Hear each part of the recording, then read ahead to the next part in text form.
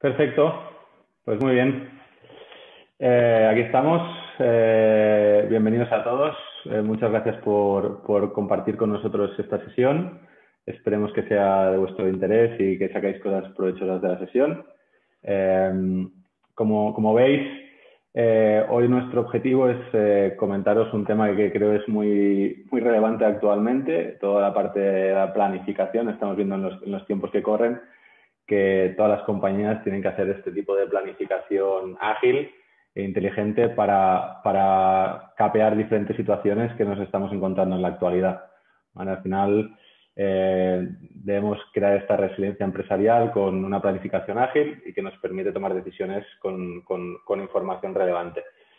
Eh, un punto importante es que hasta ahora la planificación siempre la hemos orientado muchas veces al área financiera y lo que os queremos enseñar en esta sesión es que ya no vamos solo hacia el área financiera, sino que vemos que es una visión mucho más cross, ¿vale? Eh, eh, vamos a cubrir muchos más ámbitos dentro de las organizaciones para hacer estas planificaciones y la herramienta que os vamos a mostrar nos va a permitir hacer este tipo de, planificación ágil.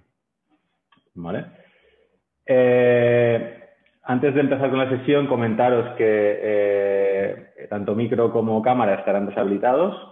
¿Vale? Eh, sí es cierto que al final de la sesión, cuando pasemos al turno de preguntas y respuestas, si quisierais hacer una, pregunta en voz, podéis activar, podéis solicitar que os activemos el micrófono y podéis hacer la pregunta, o si no, durante todo el tiempo tendréis el panel de preguntas y respuestas para que podáis dirigir la pregunta que vosotros creáis, ¿vale? Asimismo, deciros que el, webinar va a ser grabado, ¿vale? Al final de la, de la sesión os enviaremos todo el contenido que vais a ver durante la sesión, así como el vídeo grabado para, por si queréis eh, echarle un vistazo o tenéis cualquier cosa que queráis volver a revisar. Eh, durante la sesión de hoy tengo la suerte de contar con mi compañero Martín Olivier, eh, gerente de preventas, que hará toda la parte de demo para, para enseñaros la solución. Em, y por mi lado, José Barnils, eh, director de eventos, que también haré parte del host de la sesión con, Martín. un placer estar con todos vosotros. Eh, ¿Qué es lo que hemos preparado eh, para vosotros hoy? por un lado, como os decía, al final la planificación hasta ahora giraba todo alrededor de la, quizá la parte de finanzas, etcétera, y consideramos y estamos viendo, porque es una tendencia del mercado, en, que hay otras muchas áreas dentro de, las organizaciones que necesitan hacer, este tipo de planificaciones, pues ya sea a nivel de recursos humanos, ¿vale? lo que llamamos el workforce planning o cualquier otra área que a lo mejor hasta ahora no era tan crítico hacer este tipo de planificaciones o se hacía de una manera un poco más mm, Excel, digámoslo, ¿vale? Entonces, estamos buscando de qué manera, y os vamos a mostrar la manera de que desde una única herramienta podáis hacer un drill down, hacer este, esta, planificación para todas las líneas cross dentro de la organización, ¿vale? Buscar una manera activa y ágil, ¿vale? Y una solución que nos permita hacer este tipo de planificación de manera eh, inteligente, ¿vale? Eh, por otro lado, eh, una vez hayamos hecho esta, esta parte, el siguiente punto será aterrizar esta, esta solución a la realidad, ¿vale? Eh, Martín lo que os va a enseñar es durante, eh, en un proceso típico de planificación, cuál es el camino que normalmente una compañía como la vuestra puede necesitar en relación a la planificación, ¿vale? Ya veréis que, que os plantearemos cómo, cómo es la visión del antes y el ahora y luego entraremos en un caso de uso para que veáis este, este flujo, cómo trabajamos con, con, la herramienta que os vamos a presentar. ¿Vale? Y finalmente, eh, lo que haremos será pasar al turno de preguntas y respuestas para que podáis redirigir todas las preguntas que queráis. Como os he dicho antes, si durante la sesión tenéis cualquier pregunta, tenéis la opción del chat para, para, hacer las preguntas y la, opción, perdón, del Q&A para que podáis eh, poner ahí todas las preguntas que consideréis miraremos de dar respuesta a todas al finalizar la sesión. En caso de que no llegáramos a dar respuesta a todas, miraríamos de dar respuesta después directamente con, a través de mail o como hiciera falta. ¿Vale? Eh, primero que nada, para los que no nos conozcáis, breve introducción de Clariva, ¿vale? Eh, llevamos más de 20 años en el mercado, enfocados puramente en el dato, ¿vale? Es eh, nuestro foco siempre ha sido así en diferentes líneas de, del dato, desde la integración, la visualización, eh, movilización, etcétera. ¿Vale? Con un foco muy claro en la innovación, ¿vale? Para nosotros eso es muy importante co-innovar con vosotros. Sabemos que la tecnología está evolucionando muy rápido, que todo el mundo habla de blockchain, todo el mundo habla de machine learning, todo el mundo habla de diferentes tecnologías que llevan tiempo allá, pero ¿cómo lo aterrizamos esto? ¿Cómo lo, cómo lo convertimos en una realidad? ¿Vale? para nosotros es muy importante co-innovar con vosotros, ¿vale? Es, es, es clave em, lo que llamamos ser los early adopters, ¿vale? Intentamos de alguna manera probar las soluciones para poderos decir hacia dónde va la, tendencia y dónde creemos que os podemos ayudar a, esta hoja de ruta de transformación digital. Para poder hacer este, estas acciones de innovación es muy importante contar con talento, ¿vale? Y para nosotros el tener un equipo eh, altamente preparado y que de alguna manera también lo, formamos e incorporamos gente con talento ya eh, existe, que, que, viene de antes, que tienen ese, conocimiento, además de darles la formación suficiente para, poder expandir sus, capacidades. Y eh, como podéis ver en la parte derecha, pues bueno, uno de nuestros partners nos, durante muchos años nos, nos, han ido galardonando con diferentes premios eh, en relación a diferentes proyectos que hemos, hemos ido entregando durante este tiempo. Eh, aquí rápidamente os resumo los tres pilares en los cuales estamos enfocados. Por un lado, eh, todo lo que tenía que ver con Area Analytics, ¿vale? Como os he dicho, desde la extracción del dato, integración de información de cualquier origen de datos, modelización de la información, explotación de la información con cuadros de mando, aplicaciones, reporting. ¿Vale? Toda la parte de, que os he dicho de em, lo que sería la analítica avanzada, con temas de Machine Learning, em, Predictive Analytics, etcétera, ¿vale? Evidentemente hay algunas áreas que son que, están con más crecimiento, otras que son más, más, más sólidas, más estables y que llevan mucho más en el, en el mercado en el tiempo. Un segundo pilar que será el que vamos a ver hoy, ¿vale? Que es la parte de PM, Enterprise Performance Management, ¿vale? Que de alguna manera lo que vamos a, ver es toda la parte de planificación, eh, vemos la parte de planificación, consolidación y una pata que seguramente en España no hay tanto foco, pero en nuestros clientes de Oriente Medio, en la cual hacemos mucho hincapié, es en la parte de estrategia, ¿vale? Estamos viendo que toda la definición de balance scorecards, seguimiento de esos balance scorecards, eh, está siendo muy relevante en, ese mercado y estoy seguro que en, algún momento también lo será aquí en España, eh, relativamente dentro de poco tiempo, si no lo es ahora, pero a lo mejor las empresas lo hacen de una manera distinta a como la planteamos. Y por último, eh, aprovechando todas las capacidades que tiene, puede tener una, una, plataforma como BTP, ¿vale? Como lo que era antiguamente SCP, SAP Cloud Platform, el desarrollo de aplicaciones eh, enfocadas a industrias y a líneas de negocio que nos permitan desplegar valor de forma muy rápida para nuestros clientes. ¿vale? Ya sabemos eh, qué, soluciones se pueden desplegar rápidamente y, cómo las, podemos, las podemos desplegar en cada cliente de forma rápida y que enseguida podamos sacarle rendimiento. Aquí un punto importante es que estas aplicaciones no son solo analíticas, sino que nos permiten ser más eh, generadores de procesos, podemos eh, interactuar con estas aplicaciones, no solo visualizar la información. Y finalmente, en la línea de abajo, pues veis la parte de gestión de servicios, formación que también consideramos que es muy importante, migración de diferentes versiones eh, de software que pueda tener los clientes, hosting y también la parte que os comentaba antes de guiaros en este camino de transformación digital. ¿Vale? Esta es una visión a alto nivel de las líneas en las que os podemos ayudar Quería que tuviese esta visión antes de entrar en, detalle a lo que realmente importa hoy, que es la parte de planificación ágil. ¿Vale? Entonces, dicho esto, eh, cedo la palabra a mi compañero Martín, que a partir de aquí os va, a guiar en este camino hacia la planificación ágil. Bien, gracias José por la presentación. Y sí, como comentabas al principio, un poco es guiarlos en este proceso de planificación eh, y cómo una de, las herramientas que, tenemos, como esa Analytics Cloud, nos puede ayudar e, en ese camino. Eh, como introducción, a ver, muchos de los desafíos que tenemos habitualmente a la hora de planificar tienen que ver con el esfuerzo que uno genera en obtener la información necesaria para poder armar su presupuestación, eh, hay mucha manualidad en el manejo de los datos, envíos por mails, colaboración eh, de plantillas con distintas versiones. Se tarda mucho tiempo en integrar los datos, ¿sí? los datos reales, em, y eso hace que no haya una única fuente de la verdad. Entonces, lo que nosotros como desafío buscamos es un poco cambiar ese paradigma, ¿sí?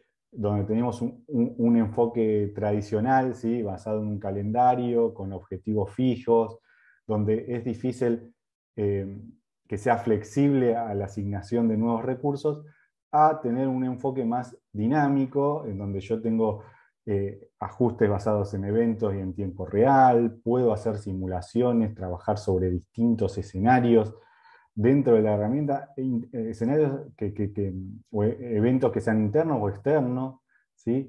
y que me permita a mí armar un forecast ¿sí? y, reasignar recursos en, base a los objetivos que, van cambiando, ¿sí? más, que nada también en el contexto actual. ¿no? Eso es un poco lo, que nosotros buscamos y darle como valor agregado. Ahora bien, como decía José al comienzo, eh, dentro de, la presupuestación intervienen distintos actores y distintas áreas que conforman eh, su presupuesto. La idea es que esta herramienta sea colaborativa y que permita distribuir responsabilidades. Ahora bien, cada una de estas áreas va a tener su forma de presupuestar y nos ayuda a nosotros a entender cuando se encara un proyecto de planificación con qué nivel de detalle se presupuesta. ¿sí? Por ejemplo, el área de ventas va a presupuestar por producto o por canal de venta y también quiere tener un control de los objetivos por responsable. Bien, ahora, tal vez la parte que, planifica las inversiones y demás no quiere tener ese nivel de detalle, pero sí lo quiere tener a nivel de proyecto. o, bien los gastos lo quiero tener por cuenta contable centro de costo o gerencia dentro de la compañía y los costos asociados a esa gerencia. Eh, la parte de recursos humanos podría ser un, módulo ¿sí? o una unidad lógica donde yo presupueste por nómina, ¿sí? por conceptos de nómina, o bien podría ser por centro de costo y la cuenta contable de sueldos o salarios, ¿se entiende? Entonces ese nivel de detalle nos hace a nosotros definir distintos módulos o modelos que componen nuestra presupuestación. ¿sí? Con, lo primero que le comentaba, nosotros podemos llegar a, obtener un, un ¿no? con mis ingresos, mis gastos, mis inversiones, con un estado de resultado. Ahora bien, cuando yo empiezo a asociarle los costos a esas ventas, cómo voy a estar cobrando lo que vendí, cómo voy a estar pagándole a mis proveedores. Digamos, cuando uno modela eso dentro de la presupuestación, también puede llegar a tener cómo es su flujo de caja. Esto es un poco para dimensionar, digamos, que el ciclo de presupuestación interviene en muchos actores y la herramienta permite distribuirlo y que cada usuario se haga responsable del dato que esté cargando y de una manera que sea dinámica y que permita armar distintas versiones, historial y demás. Bien.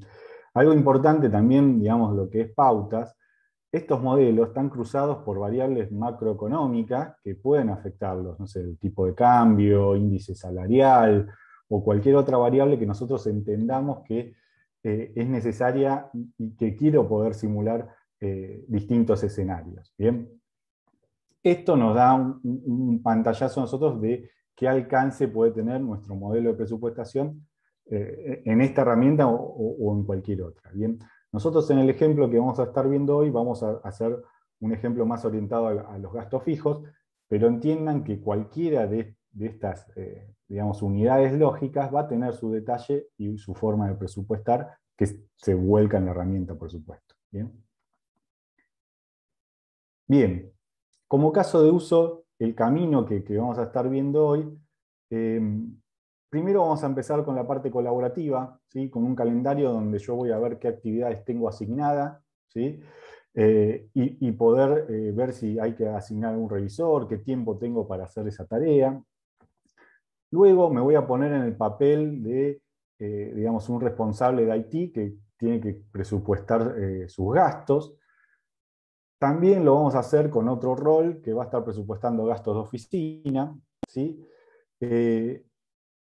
Una vez, digamos que ya tenemos estos gastos y las otras áreas también cargaron la parte de ingresos y otros, eh, digamos, eh, datos necesarios para poder armar nuestro estado de resultado, lo que vamos a estar haciendo es una revisión, ¿sí? poder ir comparando el real contra el presupuesto, cómo estoy en un estado general, en la misma herramienta con la cual yo voy a estar planificando, voy a estar haciendo el análisis. ¿bien? Luego vamos a poder simular en la herramienta, cómo me permite a mí simular distintos escenarios o jugar a un nivel macro, ya que tengo mi PNL armado o mi estado de resultados, poder simular qué pasa si eh, decido aumentar o disminuir, digamos, no sé, los bonos salariales. ¿no? ¿Cómo me afecta eso mi estado de resultado? Y jugar a ese nivel. ¿bien? Em, Luego vamos a ver cómo la parte de forecast, cómo yo puedo mezclar la información actual con la información presupuestada o con la versión que yo tenga presupuestado para eh, poder entender cómo es mi, visión a, final de año o, ejercicio en el cual esté presupuestando y ver si debo hacer ajustes o no ya con la información real o los meses reales que yo tenga. ¿bien? Y por último, vamos a ver cómo, así vimos el PNL, vamos a ver otro estado financiero que puede ser el cash flow, también cómo podemos simular cuando, no sé, por ejemplo, tenemos una caja negativa y ver con qué variables podemos jugar, si es con eh, la condición de pago o la condición de cobro, ver si afectando esas variables puedo hacer que esa caja eh, vuelva a ser positiva y no tenga una caja negativa. Ese es un poco el camino que vamos a estar siguiendo hoy y eh, y lo vamos a estar viendo paso a paso cómo, cómo sería dentro de la herramienta, en este caso SAP Analytics Cloud. ¿sí? Bien, empezando con, con, lo que es eh, el calendario, eh, a ver, como herramienta nos sirve a nosotros para formalizar nuestro ciclo de presupuestación. Bien, eh, nos va a permitir a nosotros poder definir actividades y tareas e inclusive yo acá lo que hago es chequear, bueno, a ver, ¿tengo alguna actividad para realizar yo como responsable de IT? Sí, veo que hay una, tarea en forma de, Gantt, ¿sí?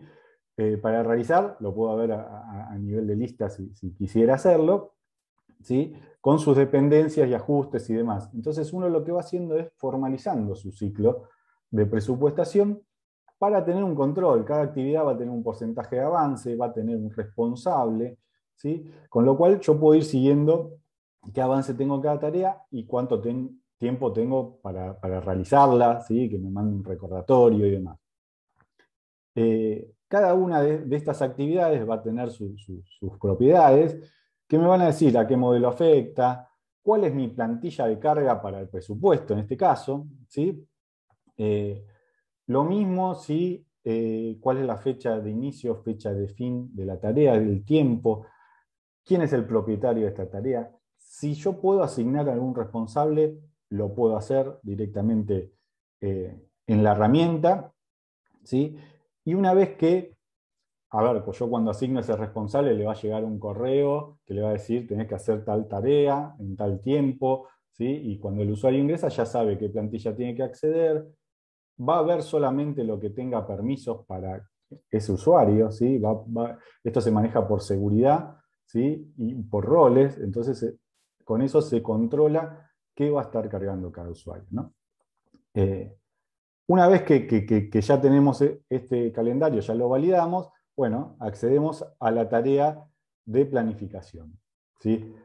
En esta tarea de planificación, ¿sí? lo que les comentaba antes, yo voy a simular una carga como si fuera el usuario de, de, que va a cargar lo que falta o a controlar, digamos, lo que cargó eh, otro responsable del área. Bien. Eh, en este caso, debido a la pandemia, digamos, vamos a estar simulando una reducción en lo que es el, costo de licenciamiento. Eh, en este tablero yo, puedo ver cuál fue la evolución de mis gastos o la evolución que yo tengo proyectada de mis gastos de IT o de mantenimiento, mes a mes en tabla y en gráfico. ¿bien? ¿Qué, es lo que voy a poder hacer? Bueno, ajustar en el caso necesario Esto es un ejemplo, no quiere decir que siempre tengan que, haya que hacer un ajuste sea en lo que es software. ¿eh? Este es, un ejemplo eh, para que vean cómo, se puede hacer en, la herramienta. En este caso vamos a hacer un ajuste de, un 15% en lo que es licenciamiento, ¿sí? para reducir. Lo voy a hacer a nivel anual, ¿sí? voy a escribir, directamente en el año 2021, bueno, yo quiero reducir un 15%. Entonces escribo menos 15%, y eso lo que va a hacer es automáticamente reducir al, valor que estaba un 15% y distribuirlo de forma, de, forma equitativa según el peso de cada mes. ¿sí? De lo que yo ya tenía presupuestado, lo distribuyo de una forma equitativa. ¿Bien? A ver, yo como responsable de IT voy a, reducir digamos, mis gastos un, un, 15%, y la forma de hacerlo es, yo directamente en la herramienta, en la línea que quiero ajustar, escribo a nivel anual menos un 15%, y eso lo va a distribuir de manera homogénea, digamos, proporcional al peso que tenía cada uno de los meses. ¿no? Eso, está bueno porque no necesariamente tengo que irme a esa mesa a modificarla. ¿bien? Eh, y me muestra dónde impacta. Impacta en el total de mantenimiento, impacta en ese software a nivel anual. Ahora bien, a mí también me dicen, mira, vamos a hacer, digamos, yo sé que en abril vamos a tener, eh, digamos, un, gasto fijo, ¿sí? De 50.000 euros, bueno, yo escribo 50.000 K y directamente lo hago a nivel de mes, ¿sí? Y fíjense que también me muestra que hay algún impacto en lo que es software de mantenimiento. ¿Por qué es esto? Eh, me muestra ese impacto en software de mantenimiento porque muchas de las licencias tienen su costo de mantenimiento. ¿sí? Fíjense que ahí eh, en el ítem software de mantenimiento 2021, lo que yo tengo en realidad es un cálculo que no puedo modificar, pero puedo ver cuál es el cálculo. Eh, este Smart Insight que nos está mostrando, lo que hace es darnos más información de ese número que estamos viendo. Esto lo podemos aplicar en un gráfico, en cualquier lado. ¿bien? En este caso, fíjense, es el 22% del software de licencia, ¿sí? el licenciamiento de software. Entonces, directamente yo puedo ver, digamos, cómo, eh, cómo me afecta eh, ese ítem. Bien, ahora bien, ¿Qué pasa si yo quiero modificar otro? Yo sé que el hardware, digamos, también lo, quiero modificar, pero sé que hay ciertos meses que yo ya tengo comprometidos y no quiero que se modifique. Entonces yo lo que puedo hacer es bloquear esos meses, ¿sí? Y además, eh, incrementar mi valor. ¿sí? Cuando yo incremento un 5%, porque sé que voy a tener más hardware o más requerimientos, así como hacía antes, digamos, la distribución, lo hace, pero no me afecta esos meses que están bloqueados. Bien. Ahora bien, ¿qué puede pasar? Otra de las, cuestiones que puede pasar es que yo quiera distribuir este valor, pero no en forma según proporcional a lo que ya tenía. ¿no? Yo lo quiero distribuir, muchas veces cuando se trabaja con hardware y licenciamiento, lo que se utiliza son capacity units, que son las medidas de capacidad o, de uso que se le da al hardware. Eh, por lo cual yo puedo distribuir de otra manera. La herramienta te, da algunas recomendaciones de cómo vos querés distribuir ese valor. ¿sí? En este caso yo lo voy a distribuir a nivel de periodo, pero le voy a poner un peso, y ese peso es las capacity units que yo voy a estar consumiendo cada mes a partir de abril. ¿sí?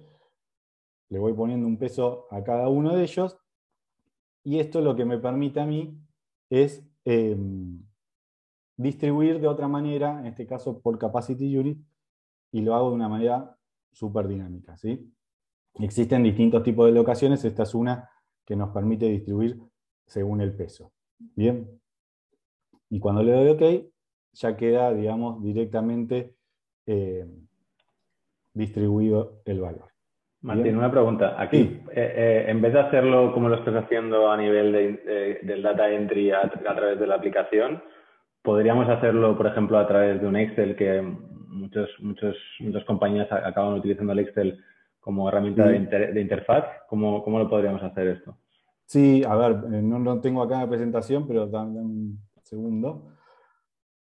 Eh, les muestro rápido. para Excel existe lo que es una DIN de Excel, ¿sí? que lo que hace es permitir, digamos, eh, jugar como si fuera una tabla dinámica. Acá me desconectó porque hace un tiempo que, no estaba conectado. Vamos a conectarnos rápido, así, así lo vemos. Em, eso lo que hace, nos permite a nosotros trabajar en Excel y cargar datos de la misma manera eh, como si estuviéramos trabajando eh, en la tabla que les conté recién. ¿sí? Uno puede navegarlo, digamos, ver qué va a estar viendo como fila, como columna, ¿sí? y de esa manera ir desagregando la información, en este caso están los gastos de Pencil, lo que veíamos recién acá, yo podría modificar un valor y cuando modifico ese valor directamente puedo procesar los datos y publicarlos. Bien, directamente desde Excel. Y acá esto es un Excel, yo acá puedo aplicar cualquier fórmula, ¿no? Esto por 0.5% y después usar ese valor para, para, cualquiera de los datos que yo tenga. ¿Bien? Pero bueno, ahí no sé si respondí tu pregunta. Sí, perfecto, gracias. Bien, genial. Bueno, siguiendo un poco con, la presentación, ¿sí? como, como, siguiente paso, vamos a, cambiar este rol imaginario y ahora me pongo en que soy un responsable de, los gastos de oficina. ¿sí? Eh, y en este caso, digamos, lo, que quiero hacer es cambiar, ¿sí? ajustar o negociar algunos contratos de renta. Sepan que con, con la pandemia eh, digamos, se, empezó a trabajar con, home office y, muchos de los gastos se buscaban reducir de, esa manera. Entonces, al igual que en, la otra, digamos, plantilla, en este caso voy a trabajar con distintas versiones. ¿Qué voy a proponer? Voy a generar un escenario ¿sí?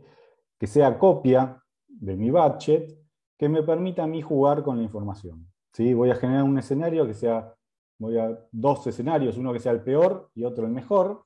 ¿sí? Eh, estos escenarios lo que hacen es permitirme a mí jugar con la información que yo ya tenía de budget, ¿sí? y en el caso que, realmente sea la mejor opción, lo puedo llegar a, publicar. Bien. En este caso generé una nueva versión y en la tabla donde yo tengo digamos, la información de budget, fíjense que eh, agregó el escenario que yo había, eh, digamos, recién generado. Y abajo también en la gráfica también me muestra qué diferencias hay entre uno y otro. Ahora bien, la renta de oficinas la quiero modificar, pero fíjense, ya hay una que está bloqueada. O sea, yo ya negocié un contrato y no quiero que se modifique, ¿sí? o, o ya negocié, y como peor escenario digo, bueno, reduzco un 5%, consigo una mejora de, reducción en lo que es la renta de un 5%. Reduzco, digamos, e, ese, ese, valor y fíjense que lo distribuyó para el resto de las oficinas y abajo me va mostrando eh, cuál es esa varianza. Bien. Ahora, de la misma manera que generé este escenario, voy a generar uno nuevo, ¿sí? que sea el mejor escenario, donde yo pueda negociar un mayor porcentaje de descuento en lo que es alquileres.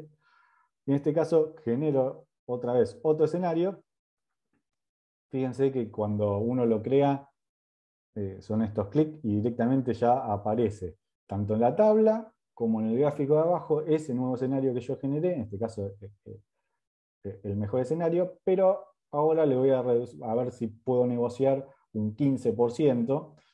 En ese caso, hago menos un 15% en lo que es la renta, y eso lo que va a hacer es reducir un 15% y distribuirlo en forma homogénea en el resto de los contratos, salvo el que yo ya tenía definido. Y puedo ver a nivel de gráfico cómo eso me impacta en cada uno de los, eh, de los meses. Bien, ahora, bien, si yo me decido quedar con esta versión, lo que hago es publicarla. ¿sí? ¿Publicarla para qué? Para dejarla disponible al resto de los usuarios, lo publico como budget. Entonces esa información que yo trabajé en forma privada, la puedo publicar. Bien. Y una vez que lo publico, queda disponible para el resto de los usuarios. Bien, sigamos.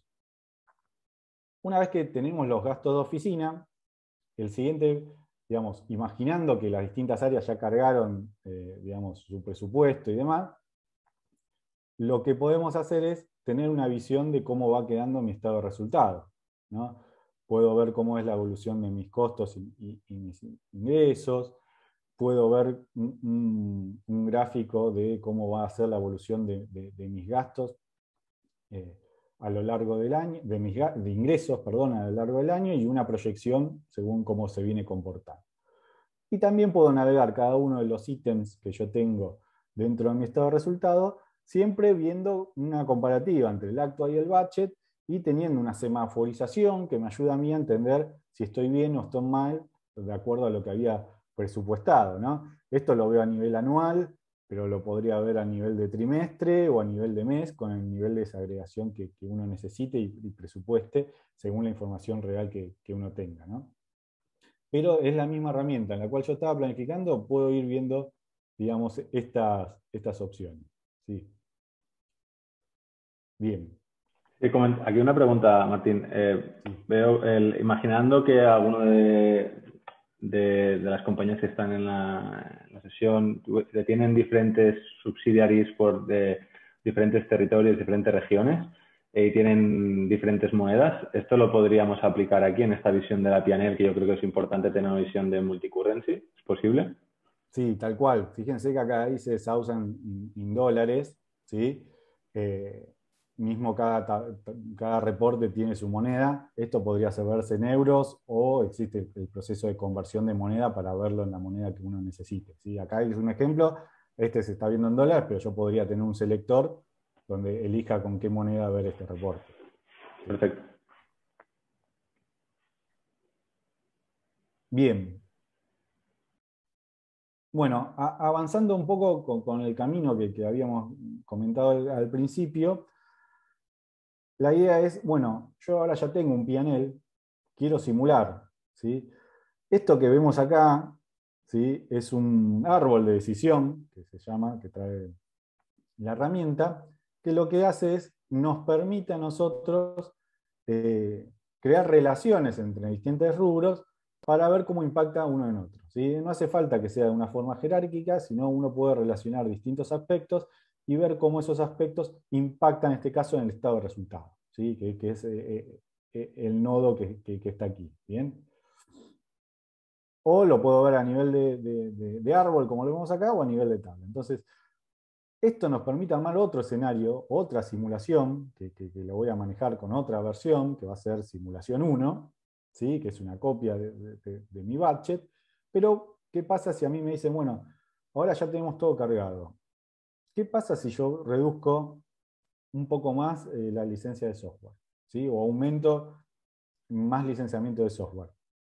Bueno, la herramienta te, permite cargar la información, simular a nivel macro, ¿no? Y eso me muestra dónde me afecta acá, ¿sí? En el estado de resultado puedo a nivel de tabla, a nivel de lista, eh, no es necesario que yo le pida al usuario que cargó eh, estos gastos que lo modifique, ¿sí? entonces estoy, estoy simulando a otro nivel. ¿bien? Eh, con lo cual está bastante bueno y permite cierta flexibilidad y agilidad para tomar decisiones. Podríamos, podríamos añadir, en un entorno colaborativo, podríamos añadir comentarios eh, para poder informar a alguien dentro del equipo que hemos detectado con la simulación algo en concreto que es relevante? ¿Cómo, la, qué, qué, posibilidades nos da la herramienta para esto? Sí, tal cual, José. Ahí a ver si les muestro rápido. Este era un poco, este es el tablero que, que estábamos viendo recién. Eh, en cualquier, digamos, gráfico y demás, al ser una herramienta colaborativa, permite eh, agregar comentarios. ¿sí? Acá yo estoy agregando a nivel de gráfico,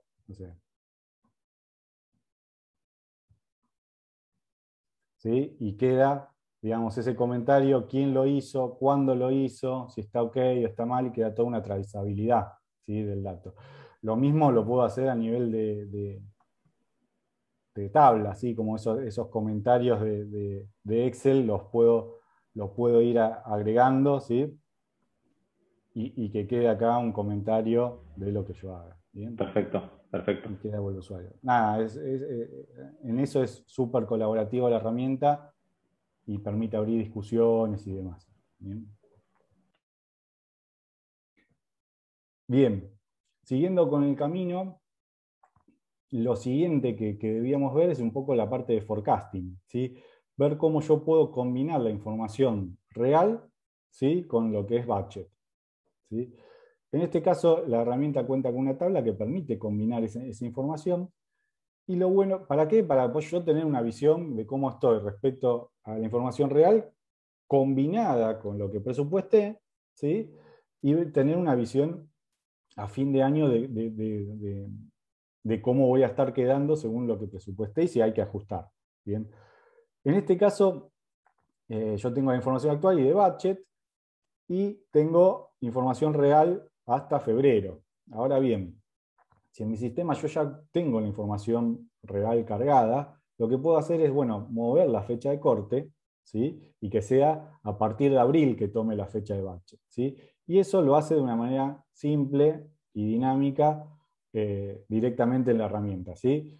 Eh, nada, esto es súper útil porque le hace un forecast que combina información real y presupuestada con pocos clics y, le da cierto dinamismo que, es fácil de utilizar. Mismo si yo acá quisiera modificar mi presupuesto budget, podría hacer. Vale. De hecho, podrías comparar contra cualquier otra versión, no, no solo sí, acá, acá dice budget, pero yo podría tener la versión 1 o la versión simulación que hice antes, eso se, configura y mismo se puede hacer un selector para que vos elijas con qué versión querés completar, digamos, tus meses eh, que no son reales. ¿no? Perfecto. Y antes de continuar con el siguiente paso, si hacemos un pequeño recap, un resumen de hasta qué es lo que hemos hecho hasta ahora en este proceso del camino hacia la planificación ágil, que nos puede hacer un pequeño resumen. Sí, a ver, ¿Qué, es lo que hicimos? Primero, ver si tenía actividades. Como esto es un presupuesto distribuido, me fijé qué actividades tengo que cumplir. Después, me puse en el rol de, un responsable de IT para cargar mis gastos de IT. ¿sí? Cuando yo genero mis gastos de IT, vimos algunas cualidades de cómo puedo hacer una distribución, cómo puedo cargar un gasto fijo, cómo puedo bloquear ciertos meses si no quiero que, que se modifiquen. ¿sí? Luego nos pusimos en el papel de un usuario de oficina de ventas donde vimos también cómo trabajar con distintas versiones, ¿sí? versiones simuladas, mejor escenario, peor escenario, cómo publicar esa información.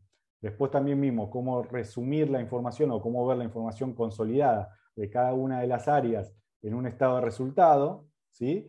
Em, que me, da una visión de cómo estoy yo en mi negocio cómo están mis KPI y, y cómo lo voy midiendo. Y Em, después vimos cómo simular a ese nivel, ¿sí? a un nivel más macro, ¿sí? cómo, cómo con un árbol de decisión puedo simular. Y por último, ahora estamos viendo cómo mezclamos un poco de información real y actual. Pero creo que fue un poco ese el camino. En ese camino fuimos viendo las distintas cualidades, vimos también que puedo cargar por Excel, vimos que puedo hacer comentarios, y es un poco lo, que vimos hasta, hasta el momento. ¿Sí? No sé si quedó claro ahí, José. Perfecto. ¿Vos te quedó claro? Yo, creo que todo el mundo lo tiene claro. Bien. Em, bueno, y, por último, lo, que tenemos es también cómo yo puedo llegar a simular con un flujo de caja. ¿sí? Acá lo que, lo que ven ustedes es un, un, flujo de caja donde yo tengo mi caja en inicio, mi caja al final, y a nivel de gráfica, lo tengo a nivel de tabla, ¿sí? y a nivel de gráfica también veo que, digamos, fácilmente que hay un mes donde yo tengo una caja negativa. ¿sí? En agosto tengo una caja negativa. Entonces, bueno, ¿qué, hago? Eh, ¿cómo, trato de resolver eso? Eh, una, de las opciones es simular. Bueno, ¿qué, pasa? Sí, ahí, estoy viendo un poco la, caja negativa. ¿Qué, ¿Qué, pasa si yo empiezo a jugar con los días de cobro y días de pago? ¿sí? ¿Para qué? Para ajustar esa caja. O sea, eh, sería ideal que yo cobre antes y, pague, pague, más lento. ¿sí? Eh, y un poco en ese sentido, uno lo que empieza a jugar es con los días de pago y días de cobro de mis cuentas por cobrar y cuentas por pagar. Entonces eso lo que va haciendo es creando distintos escenarios o desplazamientos donde yo puedo ver mi escenario ¿sí? y mi escenario simulado, y ahí ah, con estos cambios que voy haciendo voy viendo que va achicando un poco la caja, pero todavía, digamos, no, no, termino de resolverlo, ¿no? ajustando solamente los días de pago y día de cobro, todavía sigo teniendo una caja negativa, con lo cual no termino de resolver la situación. ¿Qué es lo que puedo hacer? digo, bueno, si no resolví con eso, voy a tener que tomar un crédito. en ese caso, nada, voy a la línea de crédito ¿sí? y tomo un crédito, eh, puede ser en el mes de agosto, en el mes anterior, donde uno necesite, eh, de, no sé, 20.000 euros. Yo escribo 20K, fíjense que eso ya es como si escribiera 20.000 euros. Y en ese caso, ahí si ya veo en el gráfico de abajo, veo que, digamos, se redujo, todavía sigue estando un poco negativa, eh, con lo cual, digamos, vamos a cambiarlo a, 25, digamos, 25K como para que. Otra cosa importante que, trae la herramienta y que terminamos de ver en este flujo es que me va auditando todo lo que hago. Con lo cual, si yo quiero volver atrás en el tiempo de alguna modificación o algo que hice, tengo un historial de todo lo que fui modificando y con una descripción. ¿sí? Modifiqué tal valor, modifiqué tal digamos, cálculo, todo eso me va quedando auditado y yo puedo volver atrás cuando lo desee. Eh, son distintas, digamos, eh, cualidades que nos permiten a nosotros jugar con, la información de esta manera. Bien. Bueno, ahí, José, no sé, creo que... Adelante, no, no. Un payaso Perfecto. completo. A ver, ¿qué nos permite la parte de SAC Planning? Como decía, mantener y administrar los KPI estratégicos de la compañía, poder, digamos, eh, hacer una planificación colaborativa, distribuir responsabilidades. Em, es mucho más eficaz porque yo a medida que voy planificando voy viendo dónde me está impactando, ¿sí? mi cálculo. Eh, los árboles de decisión sirven para, eso, justamente para poder simular a otro nivel, ¿sí?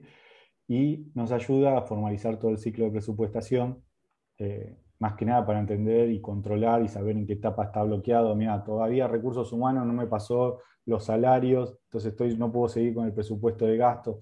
Todo eso sirve para formalizar el proceso y hacerlo más seguro dentro de la herramienta.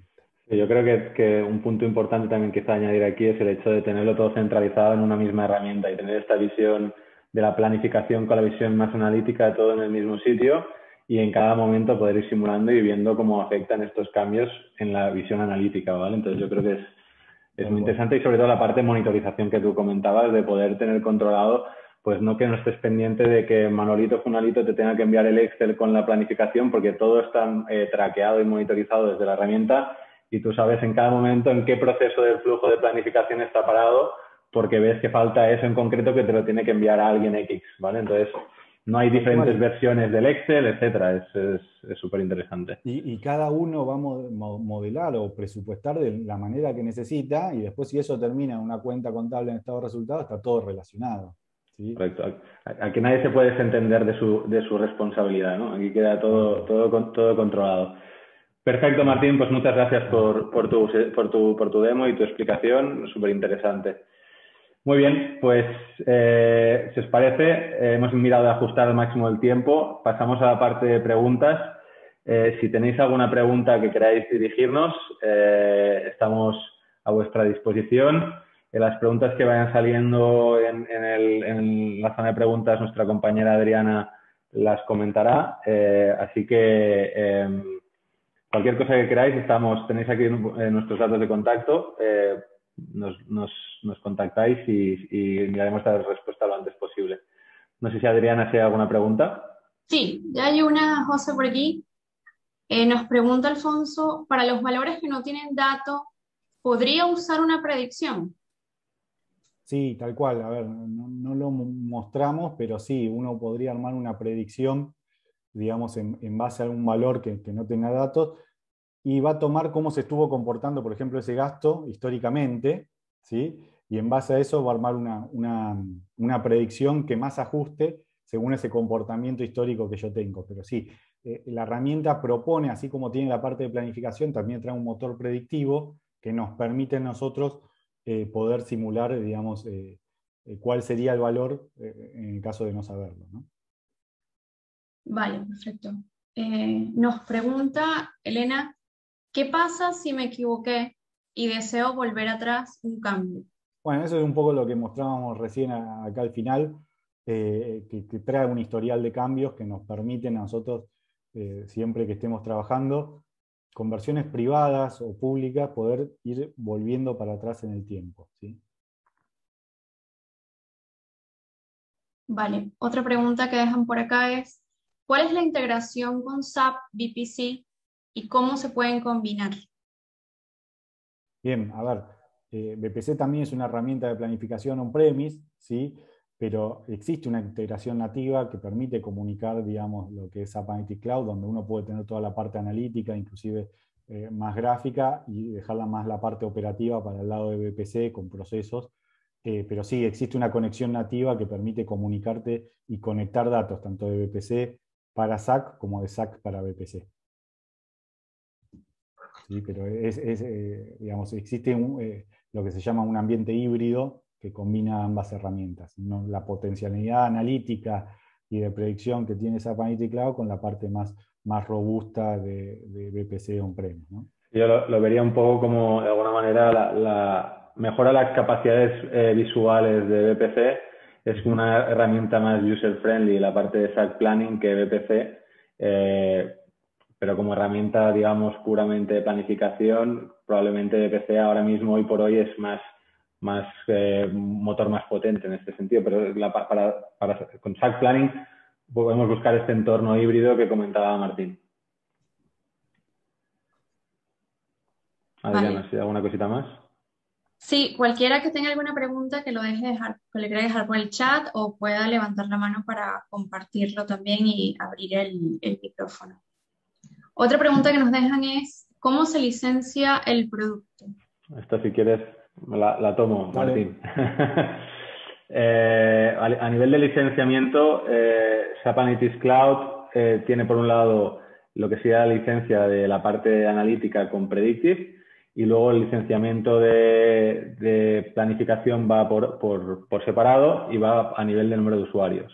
El número de usuarios que, se ponen de sesiones, pues eh, se, licencia a coste mensual. Ok, ¿y cómo se integra con los sistemas fuentes? Bien, a ver, con todo lo que... ahí si querés contexto yo. Sí, no, te iba a decir que a lo mejor incluso podrías, podrías mostrar dentro de la herramienta dónde está toda la parte de ah, conectividad. Si lo tienes ahí, porque yo creo que es interesante ver las posibilidades de conectividad que tiene la herramienta con, con, todo, con todos los orígenes de datos que hay, porque hay un montón. Sí, existen dos tipos de conexiones. Digamos, existen conexiones para los que son sistemas app que son real time, ¿sí? que uno se conecta en vivo a la herramienta, pero también existen, digamos, así como conexiones en vivo, sistemas SAP, también existen, conexiones en importación, donde uno programa cada cuánto quiere que se actualice esa información, ¿sí? y existen conexiones a SAP, Google, otras fuentes también que no necesariamente sean SAP. ¿bien? Pero tienen todo un abanico de conexiones con sistemas fuentes para poder tomar esa data como, como origen. También, también digo que bajo nuestra experiencia muchas veces hay alguna conexión que aquí no aparece, pero acabas conectando por OData o, y, al final puedes acceder a casi cualquier tipo de base de datos y a cualquier tipo de origen de datos. Ahora, evidentemente, si lo que quieres es tener una conexión live para no tener que mover el dato a, la nube, pues está un poco más limitado, ¿vale? aunque sí que es verdad que es un, es un software que está en constante evolución y esto, este tipo de conexiones cada vez es más grande, pero se puede hacer con, con cualquier tipo de conexión, perdón, cualquier tipo de origen de datos. Bien. Tenemos otra, otra pregunta. En el caso de tener presupuestos diferentes monedas, ¿es posible elegir el tipo de cambio aplicable? Sí, eso, eso lo habíamos mostrado. Nosotros en la presentación teníamos acá una moneda en dólares, pero el modelo permite trabajar con, distintas modelos y, poder seleccionarlo. Uno, puede ir cambiando esa moneda. Acá fíjense que está marcada la moneda. Tengo el filtro de arriba. Si no recuerdo mal, incluso Martín, de hecho, con el tipo de cambio, ¿no? Porque al final, como el tipo de cambio va cambiando, es una variable, eh, esto está actualizando constantemente y es de forma dinámica, ¿vale? Con lo cual hay que... Existen algunas tablas a nivel de modelado que permiten, digamos, trabajar con, tablas de conversión, ¿sí? Que se llaman Currency Conversion, donde uno define... Eh, digamos, distintos tipos de cambio, ¿sí? Para la presupuestación, un forecast o lo que necesite, y que va a estar asociado a la entidad o el tipo de moneda que tenga. Pero eso lo, maneja con, dentro de la herramienta se maneja una tabla donde uno, bueno, justo esta que no tenía nada. Bueno, ah, no, ahí tiene.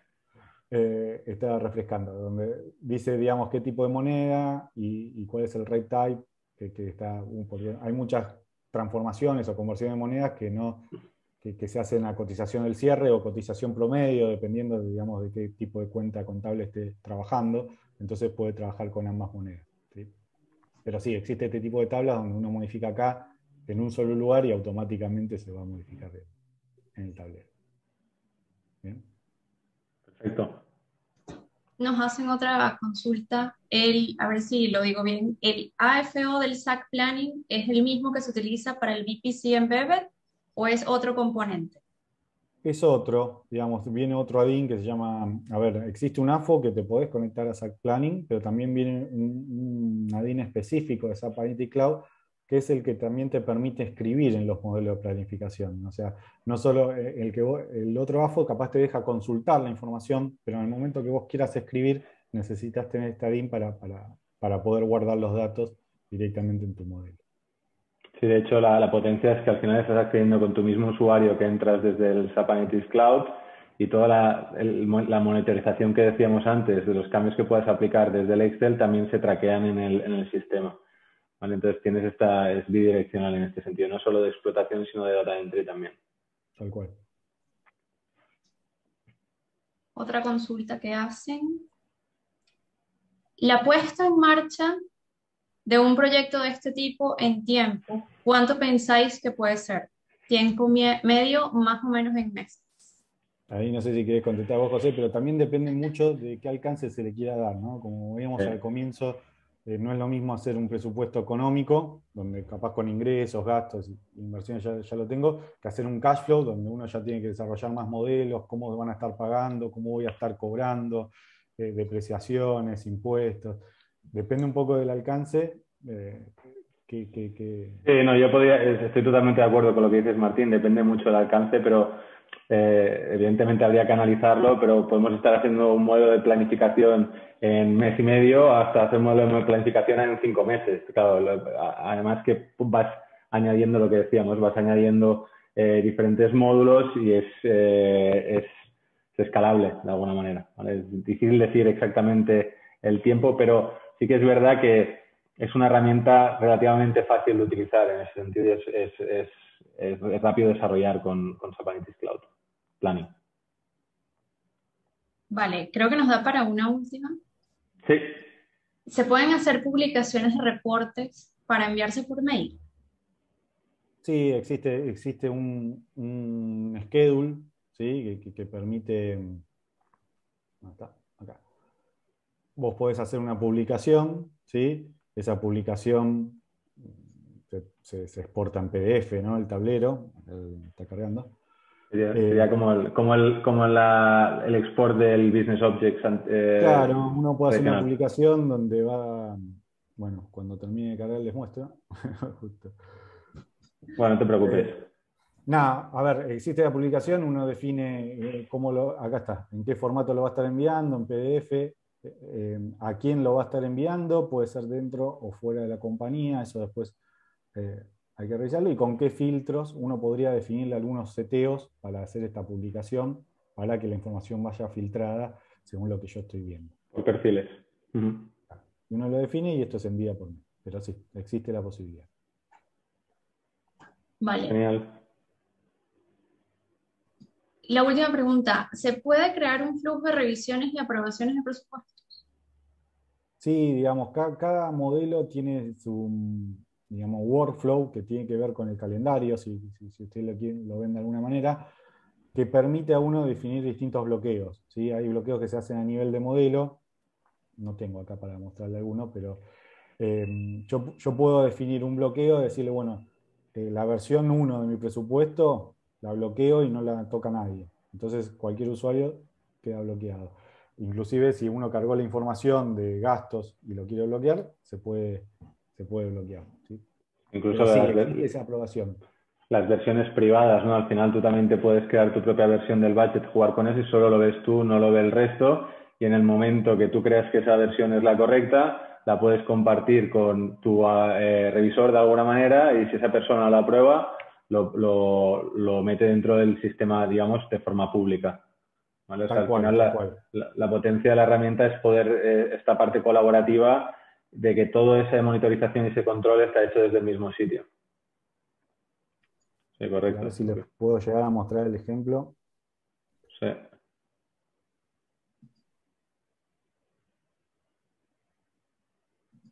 ver si se los puedo mostrar desde acá. Uno cuando accede a la tarea, digamos, va a tener unos botones que dice, digamos, aprobar o rechazar y demás, o si la tiene mm. activo, a ver si lo, quería ver si lo podía mostrar. Pero sí, existe la posibilidad. No te preocupes, perfecto. Si quieres, pon, la, presentación por si a alguien le ha faltado coger los datos de contacto. Eh, si hay alguna pregunta más, tenemos un minutito. Esta es, son las, son las cuatro, no queremos robaros más tiempo. Eh, os queríamos eh, una vez más daros las gracias a todos por, por, asistir a la sesión. Espero que haya sido interesante para vosotros. Y tenéis nuestros datos de contacto, tanto Martín como mío, para eh, dirigirnos cualquier pregunta que queráis. Eh, será un placer poderos contestar y esperamos poder escuchar y hablar con vosotros eh, pronto. Muy bien. Muchas gracias, José. Muchas gracias, Martín, por tu tiempo también y gracias, Adriana, por la coordinación de la, sesión. A ustedes. Muchas gracias a todos los que asistieron. Muy bien. Gracias. Buenas tardes a todos. Chao. Hasta luego.